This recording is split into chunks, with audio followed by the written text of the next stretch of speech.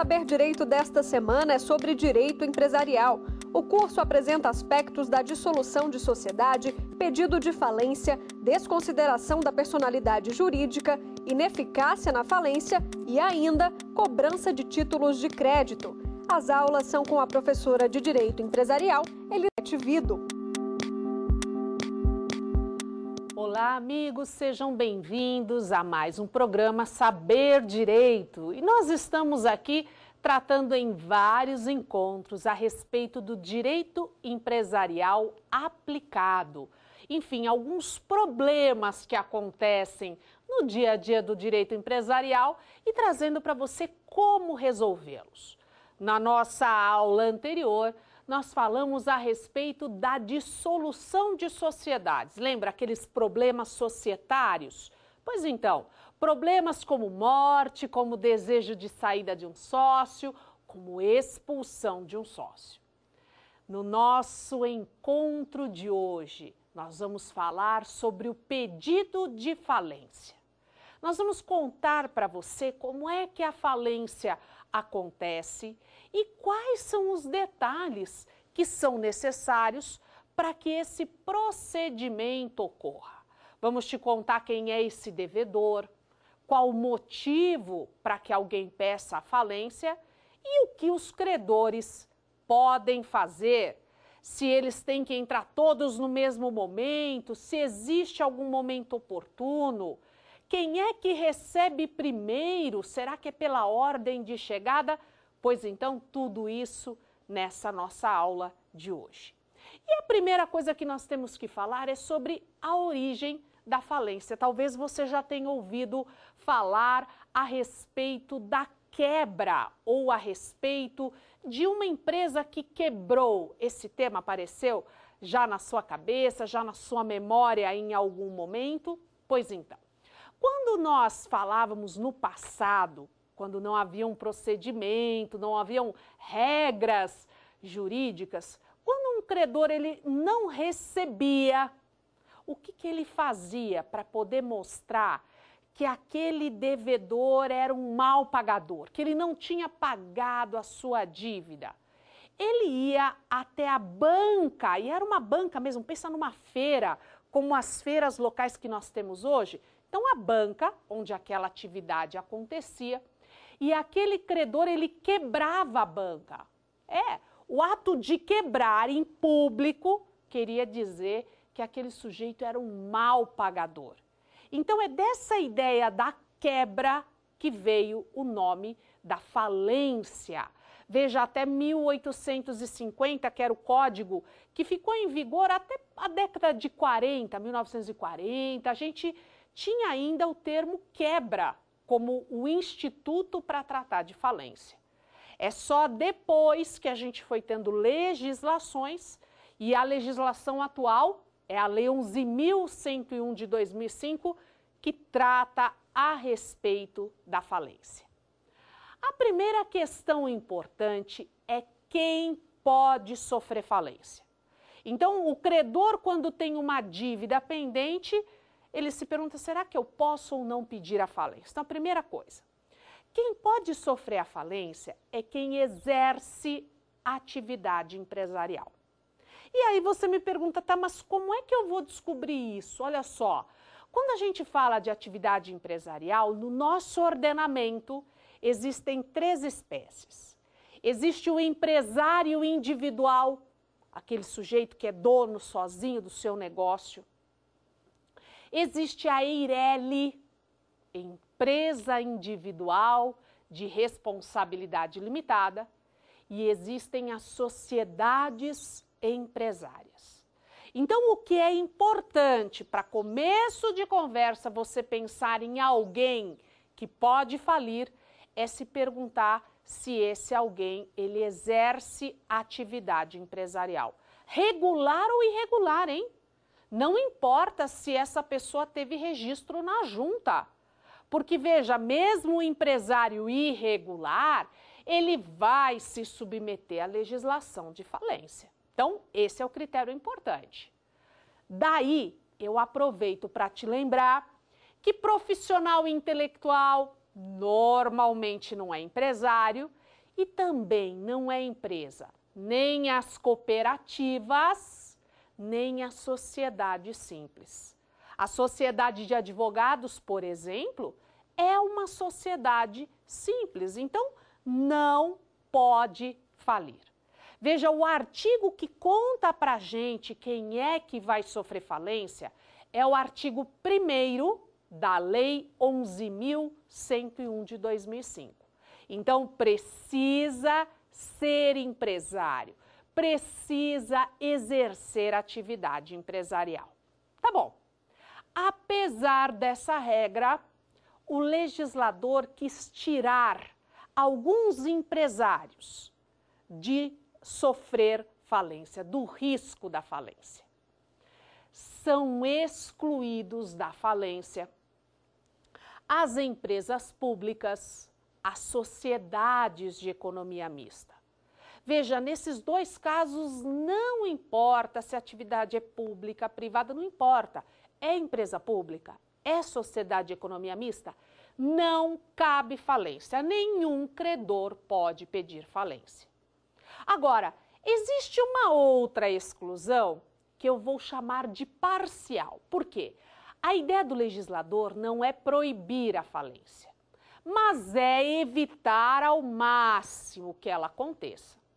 É o que acontece especialmente com instituição financeira, com operadoras de plano de saúde, com seguradoras. O que, que o legislador percebeu? É que se essas empresas quebrarem, mesmo falirem, os maiores prejudicados, o grupo de credores que provavelmente não vai receber nada, que está na base da classificação dos créditos, são correntistas, assegurados, então, veja, é um problema social. Então, o legislador ele quer evitar a falência, não proibir, evitar. É por isso que são as leis especiais que regulam a falência dessas empresas. No caso de banco, por exemplo, quando ele sofre prejuízos reiterados, quando ele de fato não paga dívidas, tem títulos protestados, quem vai analisar qual é a melhor saída é o Banco Central. E o Banco Central, diante de uma situação como essa, pode determinar a intervenção. Veja, fora do judiciário, intervenção. Na intervenção de uma instituição financeira, na hora, as agências são fechadas. Então, veja, eu e você que temos conta corrente naquele banco, a gente não consegue movimentar o nosso dinheiro de forma alguma. Essa intervenção, ela dura seis meses. O que, que o Banco Central faz? Ele coloca é, um grupo de interventores, é chamado de comitê interventor, e o objetivo desse comitê é levantar dados. O ativo, o passivo, quer dizer, qual é a situação daquele banco. Ao final dessa intervenção, é produzido um relatório. Nesse relatório, parte inicial, números, e a parte final, o comitê interventor ele vai sugerir qual é a melhor saída. É o Banco Central que vai decidir e uma das saídas possíveis é a liquidação extrajudicial a outra saída possível é a falência. Liquidação extrajudicial de banco é o que vai acontecer quando houver um critério objetivo. O ativo, bens, dinheiro, direitos, eles são 50% maiores do que os créditos quirografários. Para você entender, credor quirografário é aquele que tem um contrato, que tem um documento, mas ele não tem nenhuma vantagem especial. No caso de banco, são os correntistas, são aqueles que têm os seus investimentos, como eu e você temos ou podemos ter. Então, olha, se for possível pagar 50%, 50% quer dizer, eu, Beth, vou receber metade, você vai receber metade. Então, na liquidação extrajudicial, que não é bom, na liquidação extrajudicial, a gente perde metade do nosso dinheiro investido. Essa é a ideia. Mas se nem isso for possível, aí vai ser falência e vai ser falência como nós vamos explicar aqui. Então veja, o legislador ele não está proibindo a falência. Ele só está tentando, com outros procedimentos, afastar a falência, com a intervenção, a liquidação extrajudicial. Mas se não for possível, instituição financeira, assim como seguradora, pode falir. Lembra que quem não pode é quem não exerce atividade empresarial, é a empresa pública, é a sociedade de economia mista. Tá claro? E aí a gente vai se perguntar, tá bom, eu já sei se essa pessoa pode ou não falir, mas eu quero saber se eu tenho motivo para pedir a falência. Será que qualquer dívida não paga, qualquer boleto vencido é motivo para falência? Vamos lá ver. O artigo 94 da Lei de Falência, ele traz três motivos. A Lei de Falência é a Lei 11.101 de 2005. Três motivos. E eles são motivos independentes. Então, se você tiver qualquer um desses motivos, você já pode pedir a falência de uma empresa. O primeiro motivo é o que está no inciso 1 do artigo 94. É você ter títulos executivos. Tudo bem esse termo? Título executivo, gente, pode ser um título de crédito, cheque duplicata, nota promissória, mas pode ser um título executivo judicial, pode ser uma sentença, tá bom? Tá bom. Títulos executivos Agora, atenção, esses títulos executivos têm que respeitar simultaneamente dois requisitos. Eles precisam estar protestados, protesto, é, protesto no cartório de protesto de títulos e documentos, protestados, e o valor desses títulos tem que ser acima de 40 salários mínimos. Marcou? Então, olha só, para pedir a falência, de acordo com o 94, inciso 1, você precisa ter títulos executivos, olha, pode ser mais do que um. Agora, a soma desses títulos, e veja, a soma desses títulos pode até precisar de vários credores. Por isso que é possível pedir a falência num litisconsórcio ativo. Tudo bem esse termo? São vários credores juntos que vão juntar os seus títulos, o cheque de um, a duplicata de outro, a sentença de outro. É possível juntar toda essa gente para compor o valor mínimo de a 40 salários mínimos, veja, precisa ser maior do que essa quantia, e esses títulos, todos eles, protestados. Então, esta é a primeira hipótese, tá certo? É a primeira hipótese. A segunda hipótese, então veja, se eu não tenho o primeiro requisito, posso tentar o segundo? Posso. O primeiro é o mais importante, é o mais usado. A segunda forma de pedir falência é pelo 94, inciso segundo. 94, inciso segundo, ele fala de uma execução em andamento, tudo bem? Execução em andamento. E nessa execução em andamento, se, é, se percebe que o devedor foi citado regularmente, mas diante da citação, ele não faz nada. Como assim não faz nada? Ele não paga, ele não deposita em juízo, ele não nomeia bens a penhora. Entendeu o que quer dizer ele não faz nada? É a tripla omissão. Não paga, não deposita e não nomeia bens a penhora. Aí o credor, com uma certidão que prove essa omissão, pode pedir a falência. Cuidado, gente, não é porque eu te disse que é um segundo motivo que eu estou falando que eles são complementares, porque não são. Veja, nesse segundo motivo não tem valor mínimo, não tem a necessidade do protesto prévio, entendeu?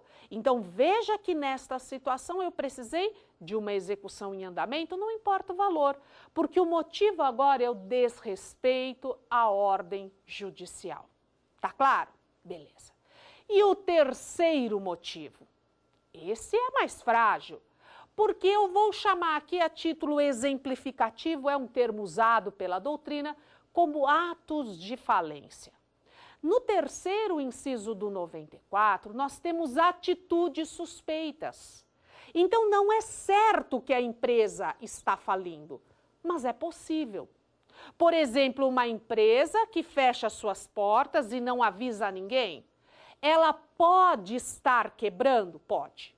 Pode, veja, não é certo que ela está quebrando. É claro que se ela fecha as portas e, além disso, tem título vencido, quer dizer, se eu tiver outras provas que provem essa intenção de não pagar suas obrigações, é possível a decretação da falência. Por exemplo, uma empresa que de um dia para o outro deixa de ter o seu estoque. Gente, é possível que ela tenha vendido tudo. Mas é possível que ela esteja quebrando? É. Se eu tiver outras provas que demonstrem essa intenção de não fazer o pagamento, pronto. Aí a gente tem uma possibilidade.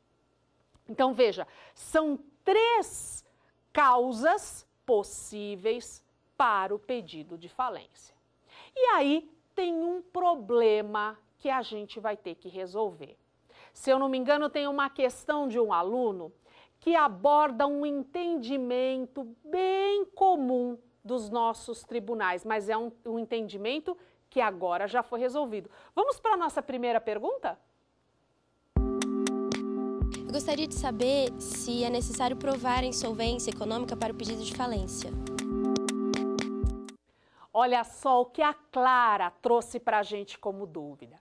Essa era uma dúvida que existia até o ano passado. Você acredita a discussão a respeito disso? Se eu preciso provar insolvência econômica, tá, mas o que, que é isso?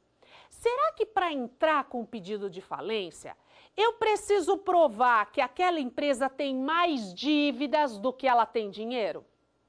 Veja só, se isso fosse necessário, eu, como credora, só teria certeza disso se eu tivesse acesso aos informes de imposto de renda, aos livros do meu devedor, mas eu não tenho acesso a isso. E enquanto essa dúvida ficava no ar, olha só o que acontecia. Algumas falências que não eram decretadas, veja, o credor pediu, com base no 94, mas entre o pedido e a decisão judicial, o devedor pagou. Esse devedor que pagou, é claro que não teve sua falência decretada, mas o que, que ele fazia? Ele pedia a litigância de má-fé. Ele pedia que o juiz não só não concedesse a falência, mas condenasse o autor da ação que pediu a falência de forma indevida. Afinal, ele não estava insolvente. Veja, insolvência é diferente de impontual. Impontual é eu não pagar a dívida na data. Insolvência não. Essa história do ativo ser menor do que o meu passivo. Então veja, esta ideia foi afastada pelo STJ. O STJ se posicionou dizendo que não é necessário provar insolvência. O que eu preciso é de uma das hipóteses do artigo 94. Uma delas. Então, se uma delas seja o inciso primeiro, títulos executivos, protestados, valor acima de 40 salários mínimos, perfeito. Inciso segundo, uma ação de execução em andamento, e aí o devedor foi citado, não paga, não deposita, não nomeia bens a penhora. Perfeito. E a terceira situação que era uma atitude suspeita. Então não é necessário, e eu diria mais, não é nem possível que o credor prove a insolvência. É possível que a falência não seja decretada? É, porque o devedor tinha o dinheiro e vai lá e paga o título. Mas isso não quer dizer que houve má fé porque o motivo legal estava presente. Uma das situações do 94 estavam presentes. Então não dá para falar de litigância de má-fé. Uma outra questão importante que também durante muito tempo envolvia este pedido de falência é questionando se eu precisaria tentar de todos os meios ter, receber do meu devedor. A respeito disso, nós temos uma questão. E aí a gente vai esclarecer como é que os tribunais se posicionam. Vamos usar essa questão? É obrigatório tentar executar o devedor antes de pedir a falência? Olha só a pergunta da Orlânia. Será que eu precisei executar, cobrar o meu devedor antes de ingressar com pedido de falência? Algumas vezes nos tribunais se achava que se você não tentasse por todos os meios cobrar, você não podia usar um meio mais oneroso como a falência. Mas, gente, esse não é o posicionamento atual. Se você tiver um dos motivos previstos na lei, no artigo 94, não precisou de nenhuma execução prévia. Então, atenção. A primeira coisa que nós vimos é: o seu devedor ele pode falir? Pode, pode falir porque ele é alguém que a lei permite a falência. Tá bom? Segunda questão, existe um motivo para falir? Então não vou me preocupar com execução prévia, não vou me preocupar em provar a insolvência. Existe um motivo? Se o motivo está na lei, eu posso pedir a falência. E a pergunta é: uma vez que eu vá ingressar com o pedido de falência, qual é o juízo competente? Onde que eu entro com essa ação? O artigo 3 da Lei 11.101 de 2005 vai nos contar qual é a competência. O juízo competente, anote aí, é o do principal estabelecimento do devedor. Qual é a dica? Não é necessariamente a sede. Porque às vezes algumas empresas colocam a sede distante de onde os negócios são realizados para dificultar as cobranças. Então, quando nós olhamos na prática, em concursos, enfim, em provas, atenção, é o principal estabelecimento sob o ponto de vista econômico. É o local onde os negócios são contratados, é o local onde acontece de fato a gestão, a administração daquela empresa. E o próprio artigo 3 diz o seguinte: e se for uma empresa estrangeira, uma empresa com sede em outro país? Aí ele diz o seguinte: olha, é numa das filiais, claro, se for tiverem várias filiais no Brasil, é a principal filial que esteja aqui no Brasil. Então a competência continua a ser brasileira. Então veja só que nós vimos o lugar onde eu entro, o motivo exigido para eu pedir a falência, quem sofre a falência. E agora nós vamos conversar sobre quem pode entrar com a falência. Nossa, mas tem requisitos também para alguém que entre à falência? Sim. Olha só, normalmente quem pede a falência é o credor. E isso aparece no artigo 97 da Lei de Falência. 97 da Lei 11.101 de 2005. Esses artigos que nós citamos ao longo do nosso encontro, você precisa estudar, porque vai te dar clareza do que nós estamos conversando. Então, no artigo 97, a primeira informação que você encontra é que o credor pode pedir a falência. Mas cuidado! Será que o devedor também pode pedir a sua falência? Pode. Na nossa legislação foi mantida a figura da autofalência. O devedor que pede a sua falência, que percebe, olha, eu não tenho como pagar, eu não tenho como pedir a recuperação de empresas e eu tenho que resolver essa questão. Os credores estão toda hora me procurando, então eu posso pedir a minha falência? Pode. Isso é possível. Agora, esse credor que pede a falência é a forma mais comum da gente encontrar. Tem que ter algum aspecto preferencial para esse credor? Existe alguma exigência para ele? Nós temos aqui uma pergunta a respeito desse credor. Vamos a ela. Só quem exerce atividade empresarial pode pedir a falência do devedor? Olha só, a dúvida da Larissa. Ela quer saber, olha, quem exerce atividade empresarial é só quem pode pedir a falência do seu devedor? Gente, exercer atividade empresarial é uma exigência para quem sofre falência, mas não para quem pede a falência. No artigo 97 da Lei de Falência, ao afirmar que o credor pode pedir a falência, tanto o credor que exerce atividade empresarial como quem exerce uma atividade não empresarial pode sim ser autor de um pedido de falência.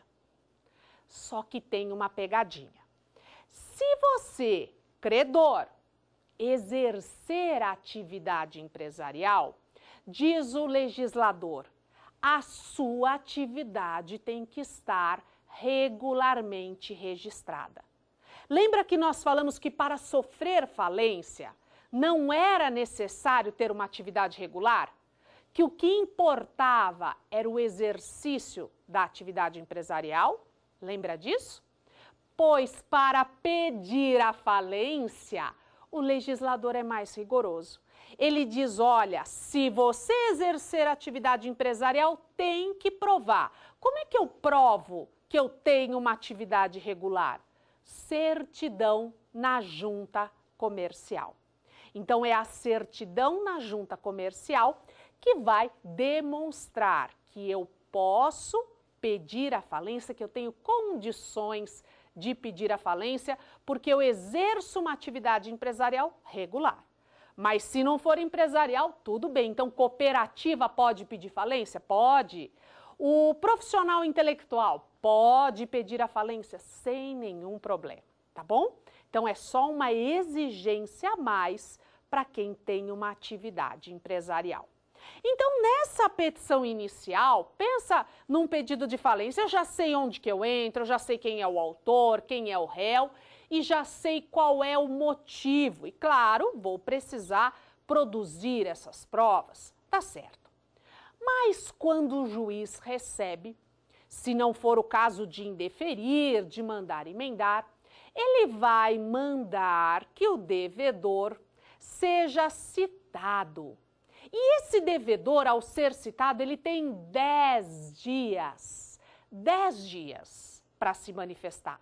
Veja que esse procedimento de falência é, portanto, um procedimento especial Assim como da aula passada, lembra da dissolução de sociedades? É um procedimento especial. Pois então, nesse procedimento especial, o devedor, ao ser citado, ele tem 10 dias para poder se manifestar. O que, que ele pode fazer nesses 10 dias? Bom, ele pode contestar, não é isso que se faz ao ser citado? Pode contestar, ele pode pedir a recuperação de empresas. É, gente, ele pode fazer com que essa falência, esse pedido de falência, se converta numa recuperação, porque afinal a falência ainda não foi decretada. Essa é a última chance dele pedir recuperação. E ele também pode fazer o depósito elisivo. Opa, o que quer dizer isso? Depósito elisivo, elidir a falência, quer dizer pagar a falência. Pagar. Veja, não é dar garantia, é pagar. E pagar o valor do título, mais honorários, mais custas. Então, eu tenho como devedor essas três ferramentas. Posso fazer as três, posso fazer uma delas, enfim, eu sou livre para escolher quais medidas que eu vou usar. Posso só contestar, contestar e elidir, contestar e pedir a recuperação. Perfeito. E uma vez que eu tome essas medidas, aí então vai os autos, vão os autos para a decisão judicial. Se o juiz decretar a falência, então a casa caiu, falência vai ser decretada. Nesta sentença que ele decreta a falência, ele vai nomear o administrador judicial, que é quem vai auxiliar o juiz em toda a gestão dessa massa. O administrador é quem vai vender os bens, é quem vai fazer o quadro de credores que é como os credores vão ser classificados, em que lugar que eles vão ficar. Então, isso é atribuição do administrador. E aqui, na sentença, o juiz vai fixar um instituto chamado termo legal. O que, que é isso? Termo legal é um período de no máximo 90 dias. O juiz vai dizer se é 10, 20, 30, no máximo 90 dias que é contado retroativamente do primeiro protesto ou do pedido. Vou repetir: termo legal fixado pelo juiz na sentença que decreta a falência é um período de no máximo 90 dias. Como é que eu conto? Retroativamente para trás. Do primeiro protesto, então veja, não é contado da sentença, eu vou procurar lá no passado o primeiro protesto. Se não teve protesto, porque o motivo da falência não foi aquela do artigo 94, inciso 1, eu vou usar o pedido. 90 dias para trás do pedido. Esse termo legal vai ser muito importante lá na frente para investigar atos praticados pelo falido. Nós vamos falar sobre isso num outro encontro nosso, mas entendeu que é termo legal? É esse período de tempo. E na sentença, o juiz vai dar uma obrigação ao falido, que ele apresente em cinco dias a relação dos seus credores, valor, vencimento, seus funcionários, enfim, ele vai juntar esse documento. Então veja o que aconteceu até esse momento. Eu tenho o credor ou os credores que pediram a falência, e eu tenho uma relação apresentada pelo falido. Essa relação ela vai ser publicada. E se eu, Beth, já estou na relação, então aparece lá, Elizabeth Vido, o valor do meu crédito está tudo certinho, eu não preciso fazer nada. Pronto, está resolvido. Agora, se eu, Beth, não estou na relação apresentada pelo falido, ou estou, mas tem algo de errado, eu vou ter que fazer alguma coisa. Do momento que foi publicada esta relação, eu tenho 15 dias para fazer a minha habilitação ou divergência. Veja, eu, credora, que não estou na lista, faço habilitação, quer dizer, eu quero entrar. Mas se eu estou na lista, mas tem algo errado, eu apresento a minha divergência. Atenção que a habilitação e a divergência, ela não está, não está prevista para ser apresentada ao juiz. Você fala, ué, e eu vou apresentar isso para quem? Para o administrador judicial. É isso que consta do artigo 7 da Lei 11.101 de 2005. Então, você apresenta nesse prazo de 15 dias uma habilitação ou divergência ao administrador judicial. Percebeu que o prazo é curto? É, olha, decretou a falência, juiz mandou publicar esse edital, 15 dias para que eu me habilite. Tá certo? A partir dessas habilitações e também daquela relação que o falido fez. O administrador judicial vai fazer o quadro de credores. Ele vai dizer quem recebe em primeiro, quem recebe em segundo. É isso o quadro de credores. O primeiro lugar que vai receber, o primeiro lugar, o lugar mais vantajoso, nem estará no quadro de credores. O lugar mais vantajoso é ocupado pelos credores extraconcursais. Extraconcursais. Eles estão no artigo 84 da Lei 11.101 de 2005.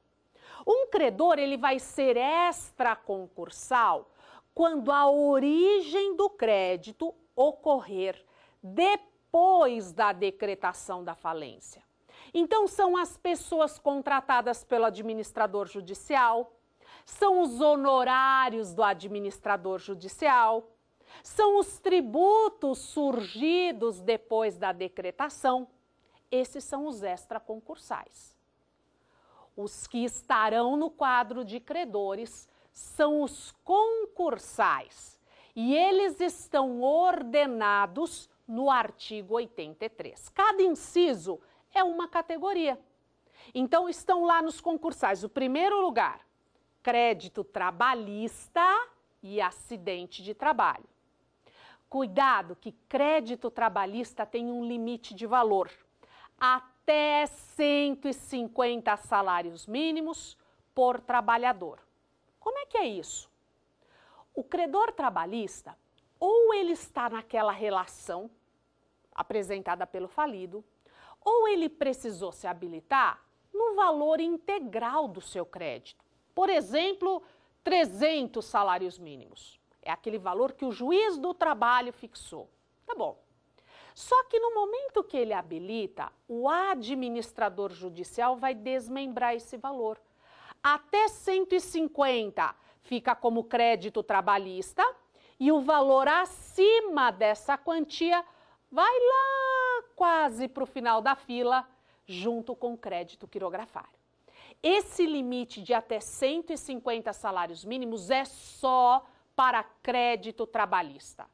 Acidente de trabalho não tem essa limitação, tá bom? Então, primeira categoria, crédito trabalhista, acidente de trabalho. Segunda categoria legal, crédito com garantia real. Lembra o que é crédito com garantia real? Hipoteca, penhor. Pois então, nessa segunda categoria, será crédito com garantia real até o limite do bem dado em garantia. Como assim? Imagina que eu peguei emprestado 200 mil e eu dei como garantia a hipoteca de um imóvel de 120 mil. Veja, o imóvel de 120 mil é que é garantia real, não é o valor da dívida total, é o valor respaldado pelo bem. Tudo bem? Então, primeira categoria, trabalhista e acidente de trabalho. Segunda categoria, garantia real. Terceira categoria é o crédito tributário. E o crédito tributário, veja, não importa se a execução fiscal já foi ingressada ou não. Crédito tributário fica lá no terceiro lugar. E só para ficar claro na sua mente, a gente depois vai vir todos os demais credores e eu vou para o antepenúltimo, para o crédito quirografário. Quem que é crédito quirografário? São aqueles credores que não têm nenhuma vantagem legal. Então, é aquele credor que tem um papel, que tem um contrato, por exemplo, os fornecedores, por exemplo, os credores de título de crédito, são créditos quirografários. Mas o importante aqui é lembrar que, junto com o crédito quirografário, está aquele saldo do crédito trabalhista, lembra aquele valor acima de 150 salários mínimos? E também o valor que está acima do bem dado como garantia. Lembra? É crédito quirografário. Aqui tem uma pegadinha. Se o crédito trabalhista foi cedido a terceiro, como assim? A pessoa vendeu o crédito trabalhista dela? O crédito trabalhista passa a ser quirografário. Então, veja, aqui no quirografário estão a maioria dos contratos, saldo daquele crédito trabalhista, saldo da garantia real, crédito trabalhista cedido a terceiro. Tem mais alguém depois do quirografário? Tem sim. As multas, todas as multas, tributária, contratual, penal. E aí vem o último da fila. Pobrezinho que nunca recebe. Crédito subordinado. Quem que é essa gente? Prolabore de sócio. Quem que está aí também? Honorários de diretor e administrador. Então, viu como que é a ordem ou a classificação dos créditos que é feita pelo administrador? Primeiro lugar, trabalhista e acidente do trabalho. Segundo, garantia real. Terceiro, tributário.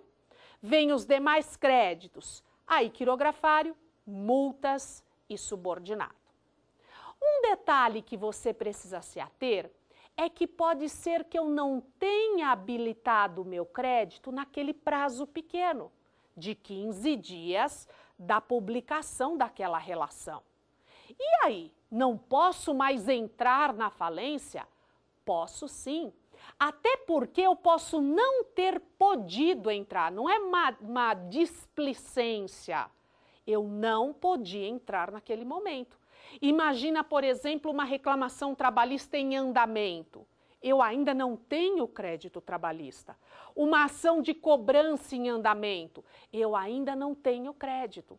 Então, depois daquele prazo de 15 dias do edital, o credor pode entrar, mas veja como faz sentido. Só que agora ele faz uma habilitação retardatária. É quem entra atrasado. Pode entrar, mas a habilitação retardatária, ela é feita ao juiz. Vai precisar de um contraditório. Entendeu até aqui? Então veja só, quando a pessoa entra com pedido de falência, ela primeiro tem que saber se ela tem legitimidade. Como é que você sabe que tem legitimidade ativa na falência? Você vai olhar no artigo 97. Precisa ser um credor ou o próprio devedor. O credor, para pedir a falência, ele pode ou não exercer atividade empresarial. Se exercer atividade empresarial, tem que ter uma atividade regular. Tá claro? Tudo isso no 97. Tá bom, eu posso pedir a falência. Que mais que eu tenho que verificar? Será que eu tenho motivo para pedir a falência? O motivo não é provar a insolvência, não é tentar executar antes o devedor, não, não. O motivo é uma das hipóteses do artigo 94. Então, ou é porque eu tenho títulos executivos, judiciais, extrajudiciais, protestados com valor acima de 40 salários mínimos. Lembra disso? Primeira hipótese. Segunda, eu tenho uma execução em andamento e houve a tripla omissão. Lembra o que é isso? Tripla omissão, o devedor, o executado, não pagou, o executado não nomeou bens à penhora e não depositou em juízo.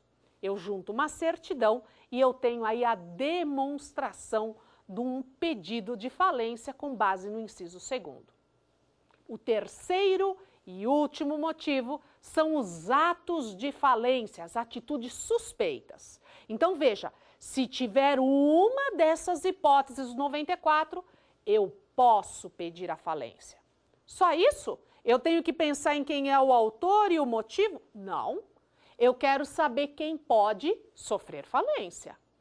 Pois então, o réu, quem tem legitimidade passiva, é só quem exerce atividade empresarial.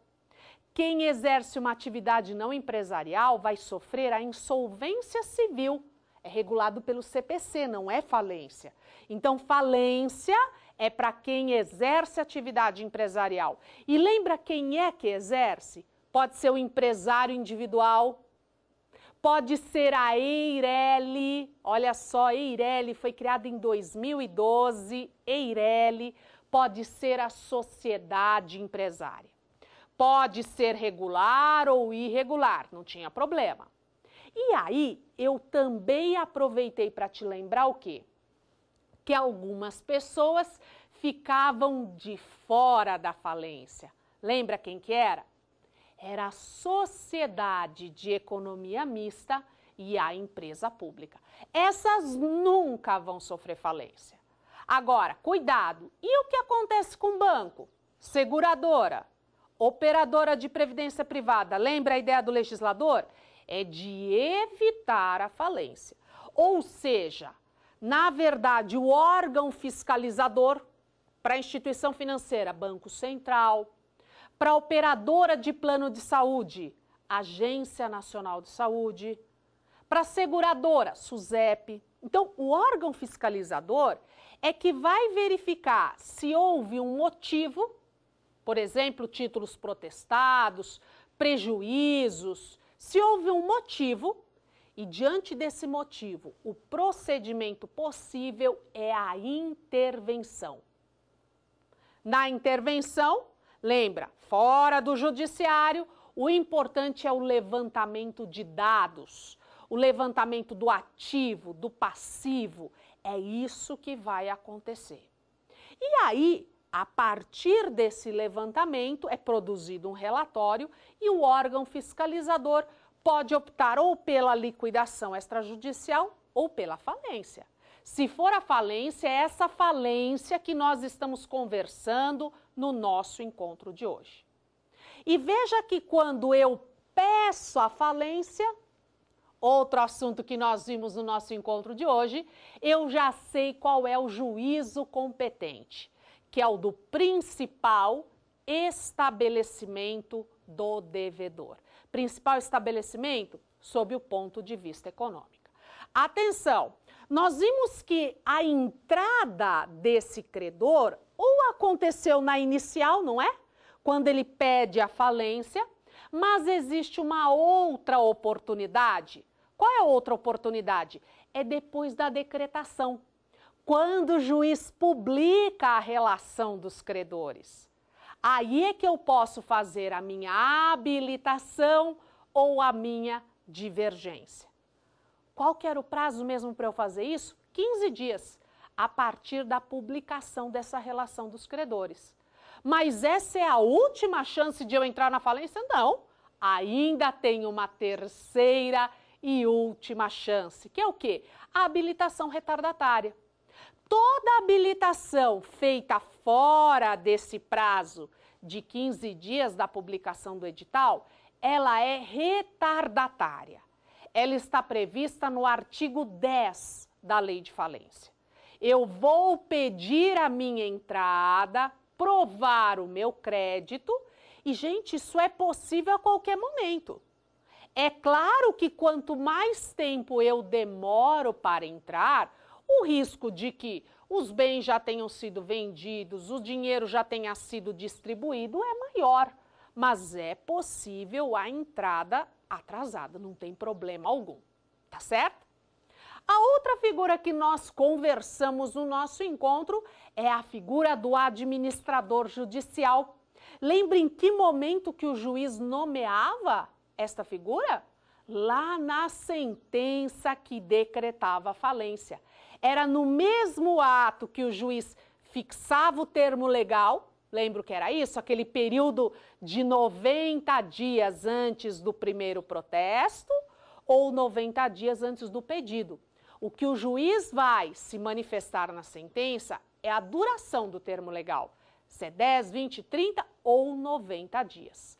E esse termo legal muito importante para que depois a gente saiba se foi feito algum ato de forma fraudulenta, de forma indevida. Isso vai ser verificado depois. Esse administrador judicial é ele que vai auxiliar o juiz na gestão dessa massa falida e ele é que faz a organização dos credores. Além daqueles credores que estão no quadro, lembra que nós vimos agora há pouco? Trabalhista, acidente de trabalho, e nós vimos que o último era o subordinado? Pois então, além desses credores, que são os concursais, que estão no artigo 83, que estão no quadro de credores, gente, é possível que existam outros. Esses outros que terão preferência absoluta receberão antes dos credores concursais são os que estão no artigo 84. Lembra o nome deles? Créditos extraconcursais. E lembra como é que a gente descobria? Ele é extraconcursal se a origem dele, olha a dica, vier depois da decretação da falência. Depois da decretação, hein? Muita atenção a esse detalhe. Então você tem primeiro sendo pago os extraconcursais e depois aí os concursais, mas assim, olha, tendo dinheiro, paga a primeira categoria, sobrou, paga de baixo, sobrou, paga de baixo. Então, quando o dinheiro da falência acaba, eu vou ter uma série de categorias sem receber. Essa é a ideia da falência. Então, não é pela, vamos dizer assim, pela ordem de entrada na falência. Você recebe de acordo com a origem do crédito, se é extra ou se é concursal, e de acordo com a natureza. Dependendo a que classe eu pertenço, eu vou ficar num lugar diferente e aí aumenta as minhas chances ou não para o pedido de falência. É muito importante que desse nosso encontro você estude todos esses artigos, porque aí você vai ter uma boa ideia de como esse pedido de falência, não só a peça, mas todo esse procedimento acontece. E não se esqueça que o devedor, quando ele é citado lá na falência, ele podia pagar, lembra disso? Era o tal do depósito elisivo, ele podia contestar e ele podia até mesmo pedir a recuperação. A falência é um instituto que aumentou muito os pedidos de falência e certamente é um assunto que você vai enfrentar ao longo da sua graduação. E se você estuda direito empresarial, esse é um tema muito importante que vai fazer parte do seu dia a dia. Tanto na possibilidade de um credor que pede a falência ou que pode pedir, vai avaliar se essa é a melhor alternativa ou não, e também por parte do devedor, daquele que recebeu uma citação de um pedido de falência. O que é que ele pode fazer? Ele vai verificar se quem pediu a falência podia pedir mesmo, ele vai verificar se o motivo está correto e se está provado. Não é? Olha, tinha 40 salários mínimos, todos os títulos foram protestados, então tudo isso vai ser verificado. Seja o seu cliente um devedor ou um credor, a falência certamente é um desses institutos que, a partir desse nosso encontro, certamente vai ficar mais clara para você. Espero que você tenha gostado do nosso encontro de hoje e nós vamos estudar na próxima aula um assunto complementar. É, porque todos esses temas, eles estão ligados. O nosso tema do próximo encontro vai ser a desconsideração da personalidade jurídica. Ou seja, diante de falência, diante de não pagamento de dívidas, algumas vezes nós vamos conseguir atingir o patrimônio pessoal dos sócios. Veja que eu já estou adiantando que é exceção, que não é a regra. E essa desconsideração, ela pode acontecer até ao longo da falência. Ao longo desse pedido de falência, pode-se descobrir que os requisitos para desconsideração estão presentes e que, portanto, a dívida vai ser paga não só com o patrimônio da empresa, mas também com o patrimônio dos sócios. É assim que nos nossos encontros a gente vai somando conhecimento. Veja, na aula anterior, os problemas societários. Nesse momento, a partir do que é possível para o pedido de falência, quem são os credores que entram, em que lugar que eles ficam. Sempre é bom lembrar, lugar que fica vai definir o lugar que recebe, a ordem que recebe e, inclusive, se haverá ou não recebimento. É, dependendo do lugar que você fica, você pode não receber. E claro que ainda vamos estudar, inclusive, o que, que acontece na falência se descobrirem atos praticados com o objetivo de lesar credores, de esconder bens, de passar bens para terceiro. A desconsideração é uma das ferramentas, mas nós também estudaremos atos que serão declarados ineficazes, atos que serão revogados e tudo isso dentro do procedimento da falência. É um assunto enorme, não é? Veja que num curso de graduação, normalmente a gente passa um ano estudando todo esse procedimento. Mas agora você sabe quem pode pedir, quem pode sofrer, qual é o motivo e principalmente como que os credores podem entrar nessa falência, em que momento eles entram, como que eles são classificados? E como que eles vão receber. Um detalhe que eu acrescento a você é que infelizmente tem alguns credores que ficam de fora. Esses credores, por exemplo, de obrigações gratuitas. Esse não tem jeito, não vai participar da falência. Conseguiu anotar? Conseguiu marcar tudo? Então eu te espero no nosso próximo encontro. Até mais!